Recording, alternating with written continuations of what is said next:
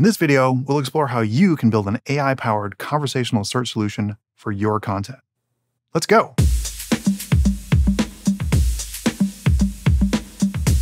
Hey, folks.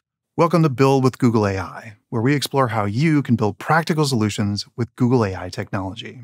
Searching for information is one of the most common uses of artificial intelligence language models. Ask a specific question, get a specific answer. It's a pretty compelling experience, even if the answer isn't always correct. But can you build that kind of experience for your content and your users? Yes, you definitely can. Docs Agent is an open source project built by one of Google's technical writing teams. It interacts with an AI language model, like the AI model behind Google Bard, and uses a clever system to build custom prompts for the AI to answer developer questions in a conversational format. Here's a quick demo of the project. For this demo, we're using the Flutter developer documentation. As you can see, Flutter has a lot of great developer content. However, I have a really specific question. I just want to know how to use Flutter to display really long lists because I'm pulling data from a database. The Docs agent provides a web based interface where you can ask a conversational AI model a question about your content and get an answer. So I just type in my question and click the Ask button. Now I just have to wait a little bit while it talks to the language model. And bingo, I've got an answer. You can see here that it's suggesting I use the list view builder constructor which sounds like a good idea. The thing I really like about this response is that it gives me context. It tells me what information it used to answer my question, and it includes links to relevant documentation sections so I can follow up and get more details, which is really handy. But wait, how do they do that? Did the team build an AI language model and train it on Flutter content? No, they didn't.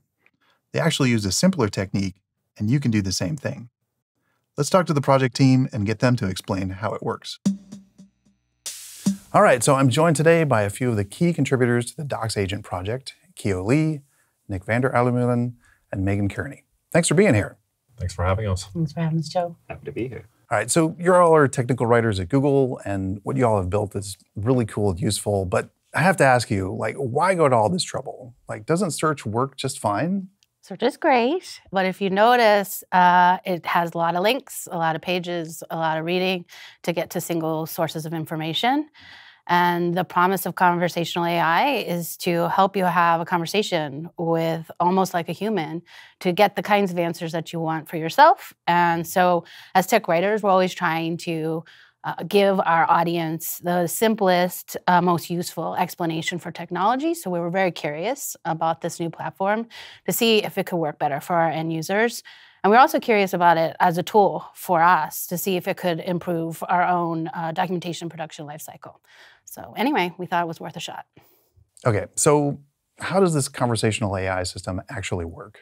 Yeah, so one of the important things to know about this project is we actually didn't like train or fine tune the actual AI model. When we started this, we didn't really know what we were doing. We are kind of exploring what to do with this. So one of the things we came across that we could do is we could uh, give it additional context, the AI model. Um, so what we did is we basically took small chunks of text. Uh, this could be headings and paragraphs, for example. We turned those into numbers. Like the numbers are not actually like a digital fingerprint or anything like that. Uh, it's an actual representation of the data. Uh, we store all of that data in a vector database. So when you ask a question, we use the same text embedding to also uh, convert that um, question into numbers as well. And then when you ask your question, it actually searches against numbers and it gets the closest uh, context that you can return from the documentation set we gave it. And then it just answers your question and also gives you relative links as well. So that way you can actually, you know, check the content because sometimes there's a lot of uh, ambiguity, did it actually answer my question? So you can actually fact check to make sure it was accurate for you. All right, so how can I extend this project to work with my own content? So with the Docs Agent project, the main thing you have to do is to populate a vector database with your own content. First, you got to break up the content into small plain text chunks and create embeddings for those text chunks and store them in the vector database. Okay. But important assumption here is that you have your source content in a text format. In our project, we use Markdown because it's relatively a simple uh, text format, which is widely used, and it still has meaningful uh, formatting information like headings. So when we first started the project, we initially uh, divide up the, the content uh, at random, uh, which was using the 1500, 1500 characters, uh, splitting the uh, content by 1500 characters. But this ended up producing um, content, uh, less relevant context for AI model, which consequently generated less helpful responses for users. So we, uh, we switched it to a different approach where we split, up the, split the content by headings. So now every text chunk contains heading and the paragraphs uh, under that heading. This approach worked a lot better in terms of the, uh, the answers that the AI model was able to generate. So the key takeaway here is that when you process content into a vector database, you need to um, you need to split up the content in meaningful chunks. In other words, be careful not to split up the content at random.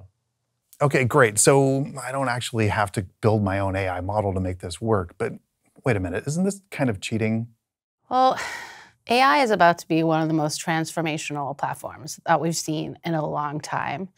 And for sure, uh, training, fine tuning, and training models is something that requires a lot of knowledge and experience. And there are a lot of people with PhDs working on that. Um, but our little band of Docs agents people, we wanted to see if it was possible to participate in the AI space um, in a way that was more inclusive and a little bit more accessible. And so that's kind of why we started experimenting with it. And we learned really fast that it is first of all, not that hard. And this is an, a, a, way for people to start to use AI that's very approachable. But also, it's really fun. And every week we meet on a Friday and we hack together. And we've been able to expand upon all of the things that we're learning and share with a, a small community so far. But we're hoping that community gets a lot bigger. So. Okay, well, great. Thank you so much for coming. Appreciate you talking about the project with me today. Yeah, thanks for having us. Thanks us. for having us. And thanks for asking us to do this. It's, it's been really fun for us. It's really cool to be here. It's coding time. Let's quickly go over the technical details of extending this project for use with your own content. Don't worry about taking notes. Link to a detailed tutorial is in the description. After you clone the code from the Git repository, go through the installation process to complete the setup. Remember, you need to get a Google PaLM API key and set it as an environment variable. You also need to have a directory containing all the content you want the AI agent to search against. Ideally, this content should be in Markdown format and include titles and headings.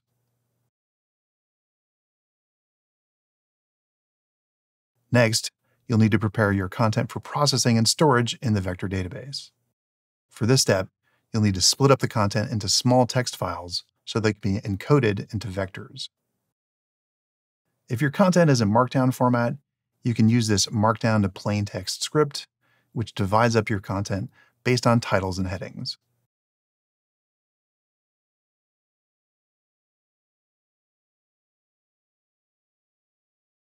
Once that's done, use the populate vector database script to generate vectors and split up the text and add them to the vector database.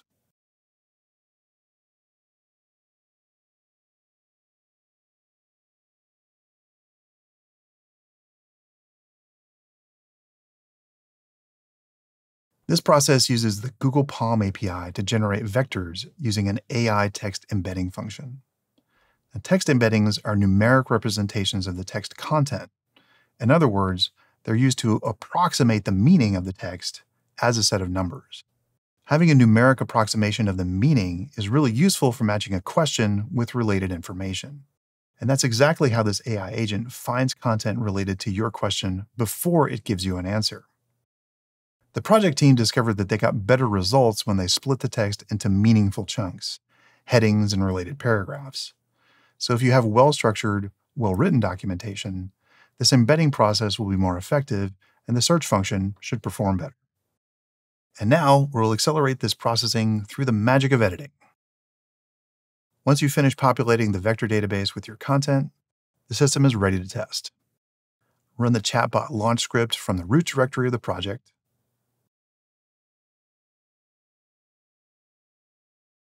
And now you can open up the web interface and start asking questions.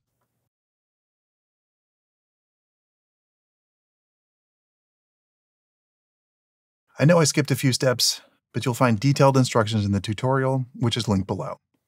Let's wrap this up. Using AI technology for content search can be really game changing. Being able to ask specific questions and get specific answers feels a lot more like a human interaction, and so it's no wonder that lots of people are excited about it. However, just like human beings, AI systems sometimes get it wrong. So when you're building a system with this technology, make sure you put in checks to help folks verify answers and make sure that they're on the right track. And that's all the time I have to tell you about the Docs Agent project. Thanks to my guests, Kyo, Nick, and Megan, for building this project and helping me share it with you. Links to the code project and a tutorial are in the description. If you get something working, let us know in the comments. I really hope this episode helps you kick off your own project for building AI powered search for your content and helps your users find answers faster. So keep learning, keep building, make something great. We'll see you again soon.